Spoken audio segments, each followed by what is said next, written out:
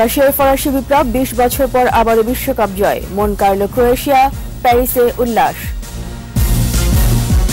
Sylhet city নির্বাচনে নতুন ভোটারদের মন কাটতে ব্যস্ত প্রার্থীরা, ইশতেহারে গুরুত্ব পাচ্ছে আইসিটি খাত। ফিনল্যান্ডে আজ ট্রাম্প পুতিন শীর্ষ বৈঠক, নতুন তৈল জোটের সম্ভাবনা হেলসিঙ্কিতে বিক্ষোভ।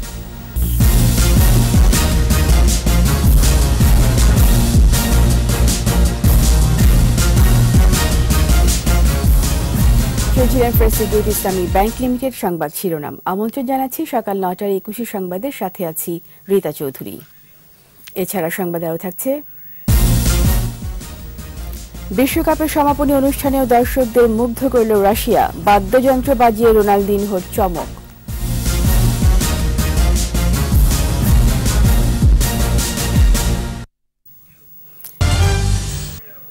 সিলেট সিটি কর্পোরেশন নির্বাচনে এবার প্রায় ত্রিশ হাজার নতুন ভোটার নির্বাচিত করতে চান সৎ, পরিশ্রমী, দক্ষ ও দুর্নীতিমুক্ত প্রার্থীকে। নতুন ভোটারদের মন কাটতে প্রার্থীরা নতুন করে চিন্তাভাবনা শুরু করেছেন। নতুন ভোটারের আগ্রহ বিবেচনা করে নির্বাচনী ইস্তেহারে আইসিটি কর্মসংস্থান সহ নানা বিষয়ে গুরুত্ব দেওয়া হচ্ছে। সিলেট বিভাগীয় প্রতিনিধি ওয়েস খসরু রিপোর্ট জানাচ্ছেন রত্না জামান। সিলেট সিটি কর্পোরেশন নির্বাচনে এবার ফ্যাক্টর হয়ে উঠেছে নতুন ভোটাররা। নতুন ভোটাররা চান যোগ্য ও সৎ প্রার্থী নির্বাচিত করতে। যারা আইসিটি বিষয়ে অভিজ্ঞ সেই প্রার্থী পছন্দ তাদের। পাশাপাশি নতুন কর্মসংস্থান সৃষ্টি মডেল নগরী গড়ে তোলার দাবি তাদের। সিলেট নগরীকে ডিজিটাল নগরীতে পরিণত করবেন। সিলেট শহরকে একটি মডেল শহর হিসাবে রূপান্তরিত করবেন। সিলেটে যানজট জলাবদ্ধতা সহ নানা সমস্যা সমাধানের প্রতিশ্রুতি যিনি বাস্তবায়ন করবেন তিনিই পাবেন নতুন ভোটারের সমর্থন। সাতাশটা ওয়ার্ড যানজট মুক্ত হতে হবে আলোকিত হতে হবে এবং সিলেট সিটিটা সব সিসি ক্যামেরার ভিতরে আসতে হবে। এদিকে নতুন ভোটারদের দিকে নজর দিয়েছেন প্রার্থীরা। তারা বলেন সিলেট নগরকে উন্নত করে প্রযুক্তির সংমিশ্রণ ঘটাতে তারা নির্বাচনী ইশতেহারেই পরিবর্তন আনছেন। পাশাপাশি কর্মসংস্থান সৃষ্টির দিকেও নজর দেবেন তারা। বিভিন্ন গুরুত্বপূর্ণ স্থানে ওয়াইফাই ব্যবস্থা রাখা কোনো কাজ করছে না তাদেরকে প্রশিক্ষণ দিয়ে তাদেরকে কার্যক্রম করে গড়ে তোলার জন্য আমরা কাজ করব। আইসিটি নতুন প্রযুক্তি তারপরে লাইব্রেরি লেখাপড়া শেষ করেই যাতে তারা নিজেকে বেকারত্ব মনে না করতে পারে তাদের কাজের জন্য উৎসাহিত করা। শুধু মেয়র নয়, সাধারণ কাউন্সিলর ও সংরক্ষিত ওয়ার্ডের কাউন্সিলর প্রার্থীদের দিকে নজর রাখছেন নতুন ভোটাররা। রত্না জামান, একুশে টেলিভিশন। নিচ্ছি ইসলামী ব্যাংক বিরতি যখন ফিরছি তখন অন্যান্য খবরের সঙ্গে আরও থাকবে। কুষ্টিয়ার বন্দুকযুদ্ধে এক মাদক ব্যবসায়ী নিহত, পাঁচ পুলিশ সদস্য আহত।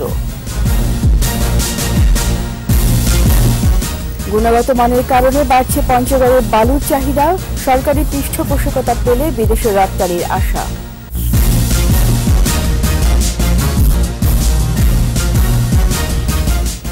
আবার আমন্ত্রণ, সকাল নটায় একুশে সংবাদে। কুষ্টিয়ায় গোয়েন্দা পুলিশের সাথে বন্দুকযুদ্ধের শহর আলী নামে এক মাদক ব্যবসায়ী নিহত হয়েছে।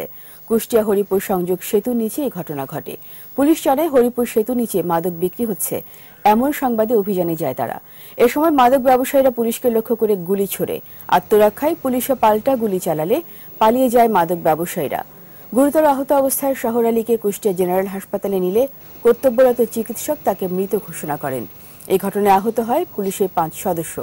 ঘটনাস্থল থেকে একটি ওয়ান শুটার গান, তিনটি গুলি ও ছয় পিস ইয়াবা উদ্ধার করে পুলিশ। এবার আমাদের সাপ্তাহিক আয়োজন, সোশ্যাল ইসলামী ব্যাংক লিমিটেড, সম্ভাবনার বাংলাদেশ।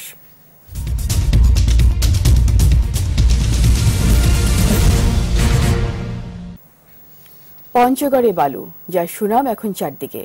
উন্নত গুণগান মানের কারণে দিন দিন বাড়ছে চাহিদা। সরকারি পৃষ্ঠপোষকতা পেলে বিদেশে রপ্তানি সম্ভব। এই বালি উত্তোলনের ফলে বাড়ছে নদীর নাব্যতা। প্রতিনিধি আনিস প্রধানের রিপোর্ট জানাচ্ছেন রত্নাজামান মহানন্দা, করতোয়া, ডাহুক সহ পঞ্চগড় জেলায় ছোট বড় নদীর সংখ্যা তেত্রিশ। প্রতিদিন এসব জলধারার অনেক জায়গায় বালু উত্তোলনে ব্যস্ত শ্রমিকরা। প্রতিদিন তোলা হয় অন্তত আড়াইশো ট্রাক বালু যা সরবরাহ করা হয় বিভিন্ন জেলায়। এতে কর্মসংস্থান হয়েছে বহু মানুষের। সারাদিন কাজ করে চারশো টাকা সাড়ে চারশো টাকা হাই পাঁচশো টাকা পাওয়া যায়। এখানকার বালু মোটামুটি একটু ইয়া মান ভালো।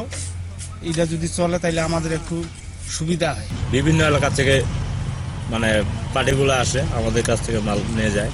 উত্তরাঞ্চলের এই বালুর গুণগত মান খুবই ভালো বলে জানায় এই কর্মকর্তা। আমাদের বালুর মান পেয়েছে প্রায় এফ এম টু থেকে টু পয়েন্ট ফাইভ, যেখানে এক হুলিজ মোটামুটি কনস্ট্রাকশনের কাজ চলে। স্টেক হোল্ডার এবং বিভিন্ন ডিপার্টমেন্ট যারা বালু নিয়ে কাজ করে, তাদের সকলের একটি মতামত হলো এই যে পঞ্চগড় থেকে প্রচুর পরিমাণে বালু বাইরে রপ্তানি করা সম্ভব। এই কর্মযজ্ঞের কারণে বাড়ছে নদীর নাব্যতা ফলে সৃষ্টি হচ্ছে মাছ চাষের সুযোগ। যেমনি একটি প্রাকৃতিক সম্পদে বাংলাদেশের অর্থনীতিকে ভূমিকা রাখবে পাশাপাশি নদীর নাব্যতা ফিরে আসবে। এখানে জল জলমহলগুলি আরও বেশি মাছ চাষের উপযোগী হবে। পঞ্চগড়ের পনেরোটি বালুমহাল ইজারা দেয়া হয়েছে। এ থেকে বছরে রাজস্ব আয় হয় এক কোটি ত্রিশ লাখ টাকা। রত্না জামান একুশে টেলিভিশন। নিচ্ছে আবারও ইসলামী ব্যাংক বিরতি। যখন ফিরছি তখন অন্যান্য খবরের সঙ্গে আরও থাকবে। গোল্ডেন বল জয় করে নিলেন ক্রোয়েশিয়া অধিনায়ক লুকা, সেরা উদীয়মান ফ্রান্সের এমবাপ্পে।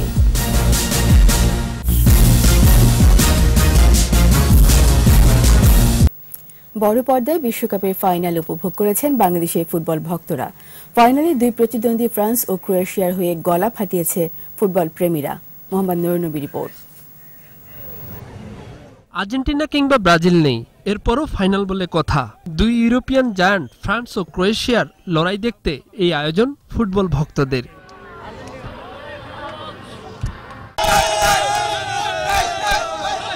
ফরাসি সৌরভ ছড়িয়ে ফ্রান্সের জয়ে উচ্ছ্বসিত ফ্রেঞ্চ সমর্থকরা। ফ্রান্স ফাইনালে জিতছে আমি খুবই আনন্দিত। ফ্রান্সের খেলা এত সুন্দর হয়েছে যে প্রত্যেকটা প্লেয়ার যেন নেইমার মেসির মতোই যাতে খেলে আর কি আটানব্বই পেয়েছে এবার টু পেলে দু হাজার আঠারো সালে। এই জন্য বাংলাদেশের পক্ষ থেকে ফ্রান্সকে জানায় অভিনন্দন। ফাইনালে ক্রোয়েট সমর্থন করা ভক্তরা কিছুটা হতাশ তবে বিশ্বকাপের নবাগত এই দলের নৈপুণ্যে প্রশংসা তাদের কণ্ঠে।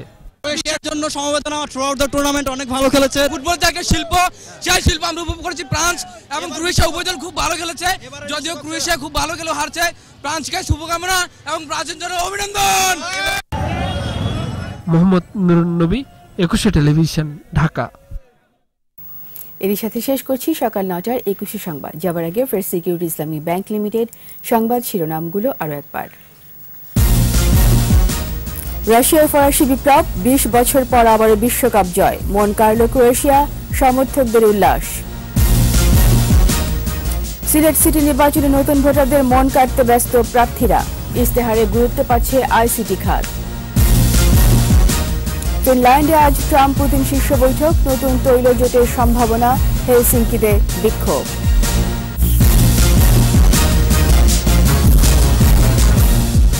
সবশেষ খবর জানতে ডায়াল করুন টু জিরো টু নম্বরে আর ভিজিট করুন একুশে ড্যাশ টিভি ডট কম ওয়েবসাইটে এছাড়া ফেসবুকে ভিজিট করতে পারেন Facebook dot com slash Ekushey twenty four অনলাইনে এতক্ষণ সঙ্গে থাকার জন্য ধন্যবাদ। পরের সংবাদ সকাল এগারোটা, দেখার আমন্ত্রণ রইল। একুশে সাথেই থাকুন।